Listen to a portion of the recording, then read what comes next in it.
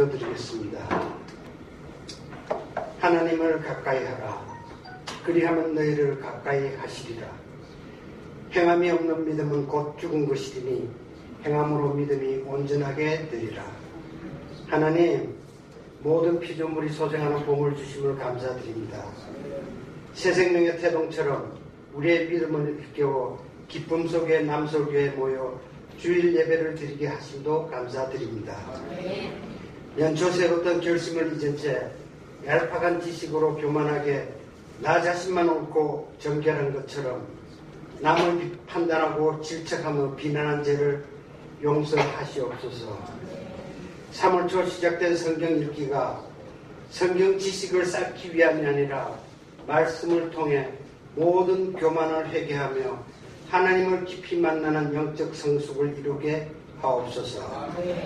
말씀 앞에 자신을 깊이 성찰함으로써 하나님의 뜻을 깨달아 겸손히 서로 사랑하며 살게 하시옵소서. 하나님, 어수선한 세계 환경 속에서 우리 대한민국이 길을 잃지 않도록 굳건히 보호해 주시옵소서. 나라 살림이 주름져 위기감을 느끼는 국민들에게 튼튼한 국가 경제와 안정된 삶을 허락해 주시옵소서. 한쪽으로 치우치는 듯한 위정자들이 하나님의 인도로서 제자리를 찾아 말씀을 통해 하나님 나라를 세우는데 큰 역할을 담당하게 하옵소서. 하나님, 우리 교회 부흥을 이끌어 주시옵소서. 세봉과 신학기를 위해 전도대회를 강화시켜 주셔서 더 많은 어린 양들이 그 가족과 함께 하나님 앞에 나올 수 있게 우리 성도들에게 행동하는 믿음을 주시옵소서.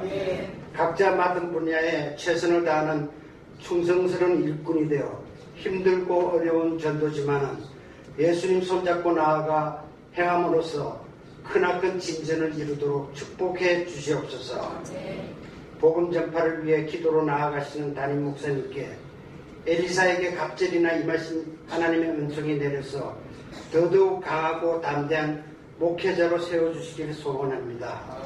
목사님 말씀 안에 세상이 줄 수 없는 참된 지혜와 행복, 평안과 위로가 있음을 깨닫게 하시어 말씀의 은혜를 매일 체험하게 하시옵소서.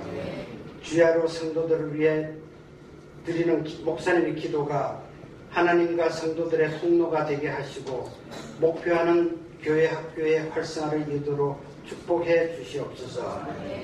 예배드리는 모든 성도들의 가정과 원로 목사님의 가정에도 하나님의 축복이 임하시기를 바라오며 거룩하신 예수 그리스도 이름으로 기도드립니다.